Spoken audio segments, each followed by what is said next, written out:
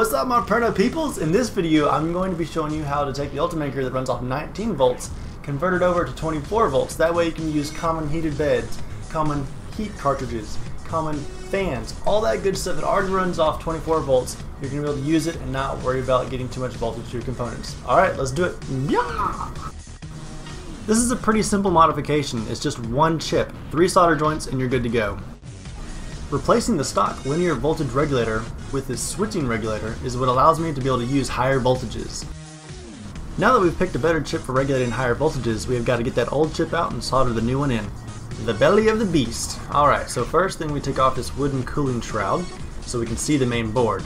Now on the bottom right corner of the main board, as we zoom in here, you'll see that there's a linear voltage regulator. This is the LM812. Now this is not very efficient or good at regulating high voltages to lower voltages. And here's a bottom view of that same chip that we're going to be unsoldering.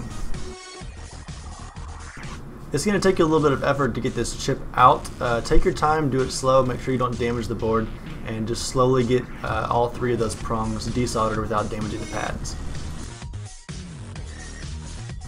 After you get the old chip out, it's best to go ahead and clean up the pads and prepare it for the new chip by cleaning out the holes so it goes in easily. Now here I'm just heating up the pads and then using a solder sucker to pull all the excess solder out. Once you've cleared out the holes for the new voltage regulator, you're going to go ahead and slip that bad boy in and solder it up.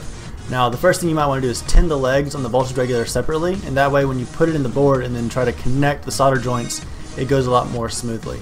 And then when it's done, it looks like this. The new voltage regulator is a little bit taller than the old one, so be careful when tightening down the cooling shroud on top of the main board because you don't want to put too much pressure on that chip. And the very last step before you can turn your Ultimaker back on is to connect the power cord. Now this gets kind of tricky because there's a lot of different options on how to do this. I chose to keep the stock power cord without cutting it apart and I wanted to allow myself to be able to go back to the 19 volts if I ever needed to.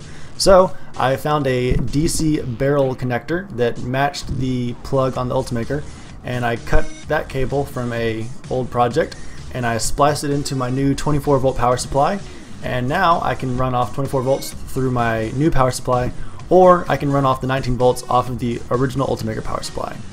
That way if I ever need to go back to the 19 volts I always have the stock power supply laying around that it's easy just to plug back in. If you do decide to take the plunge and convert your Ultimaker to 24 volts, two things to consider.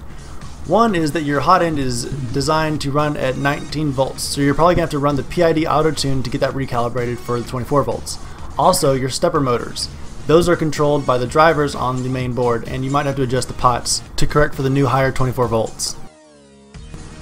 I hope this video answered all of your questions about converting the Ultimaker to 24 volts. If you have any other questions I didn't answer in the video, please feel free to leave the comments down below. Now, if you want to help me out, you can come and follow me on Twitter and Facebook to see what other crazy projects I've been up to. And if you haven't already, of course subscribe to my YouTube channel.